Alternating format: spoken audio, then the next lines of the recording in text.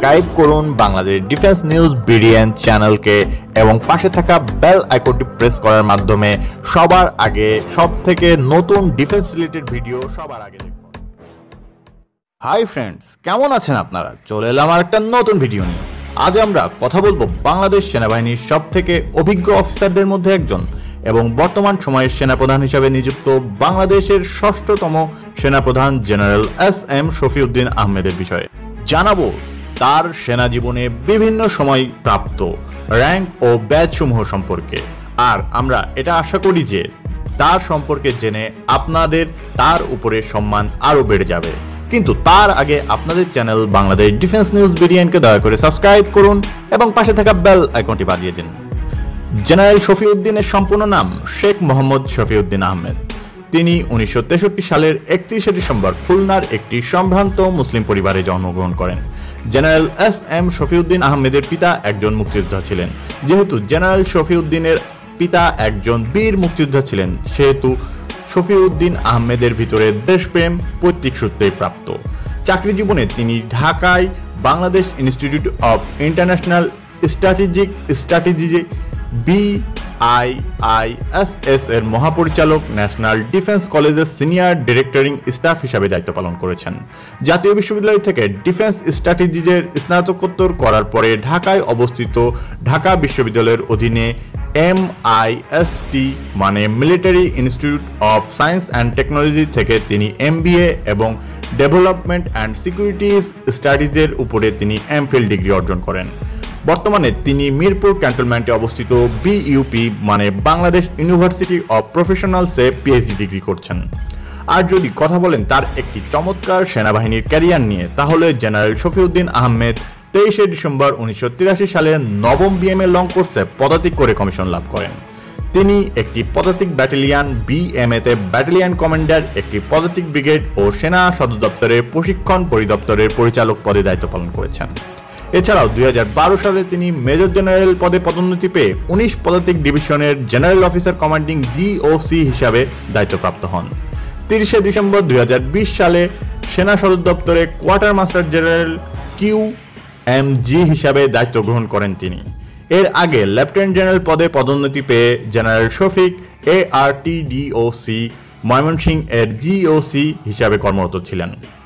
প্রায় সাঁত্রিশ বছরের কর্মজীবনে জেনারেল এস এম শফিউদ্দিন আহমেদের সার্ভিস জীবনে আমরা দেখতে পাচ্ছি পার্বত্য চট্টগ্রামে সন্ত্রাস দমন অভিযানে অপারেশন দাবানল পদক উনিশশো অষ্টআশি সালে মহাপ্লাবন থেকে উদ্ধার কাজে সক্রিয় সেনাবাহিনীর অংশগ্রহণের জন্য প্লাবন পদক উনিশশো একানব্বই সালে ঘূর্ণিঝড় পরবর্তী উদ্ধার ও ত্রাণ অভিযানের জন্য সেনাবাহিনীর জন্য প্রদত্ত পদক জ্যেষ্ঠতা পদক এক, যা দশ বছরের সেনাবাহিনীর পরিষেবার জন্য প্রদান করা হয়। জ্যেষ্ঠতা পদক দুই, যা বিশ বছরের সেনাবাহিনীর পরিষেবার জন্য প্রদত্ত হয়।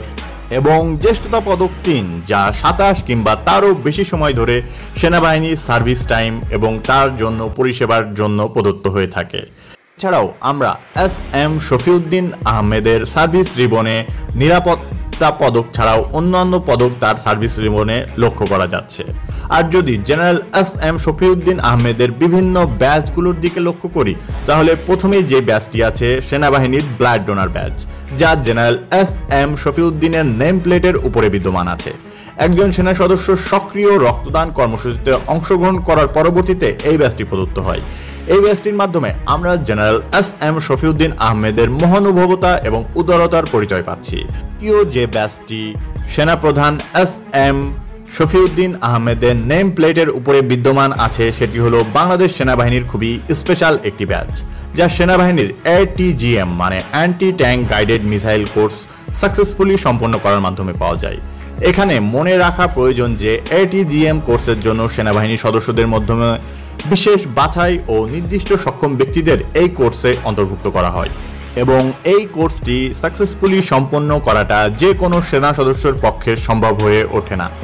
কারণ এটা খুবই অ্যাকুরেসির মাধ্যমে নিজের নার্ভসের উপরে যারা খুবই নিয়ন্ত্রণ রাখতে পারে এবং যারা নিজেদেরকে কন্ট্রোল রাখতে পারে তারাই শুধুমাত্র এই কোর্সটি সাকসেসফুলি সম্পন্ন করতে পারে। তৃতীয় যে ব্যাচটি সম্পর্কে জানাব, সেটা হলো সেনা প্রধানের রাইট পকেটের স্লিপের উপরে বিদ্যমান আছে। এই ব্যাচটিকে কর্নেল কমান্ডেড ব্যাচ বলা হয়।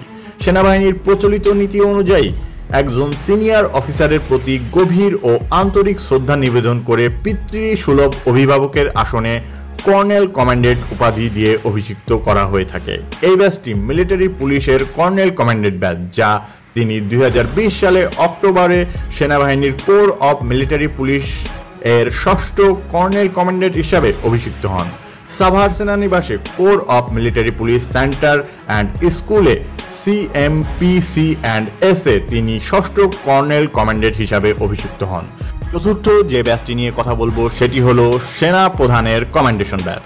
বা নির্দিষ্ট কাজ বা যোগ্যতার ভিত্তিতে বা দক্ষতার উপরে সেনা প্রধানের পক্ষ থেকে নির্দিষ্ট সশস্ত্র বাহিনীর সদস্যদের প্রদান করা হয়ে থাকে। উল্লেখ্য, এই ব্যাচটিতে নির্দিষ্ট সংখ্যক স্টারের মাধ্যমে চিহ্নিত করা হয়ে থাকে যে উক্ত সেনা সদস্যটি কতটি কমান্ডেশন পেয়েছেন সেনাপ্রধানের কাছ থেকে।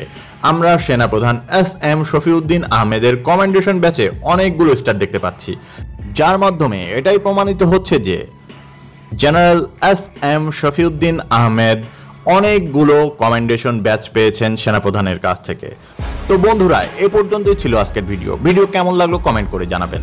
ভিডিওতে যে ইনফরমেশনগুলো দিলাম, এগুলা কি আমাদের ভিডিও থেকে প্রথম শুনলেন না এর আগেও জানতেন সেটাও কমেন্ট করে জানান। ভিডিওতে নতুন কি কি দেখতে চান সেটাও কমেন্ট করে জানান। পরবর্তী ভিডিওতে আবারও দেখা হবে, সে পর্যন্ত বিদায় জানাচ্ছি। ধন্যবাদ, ভালো থাকবেন।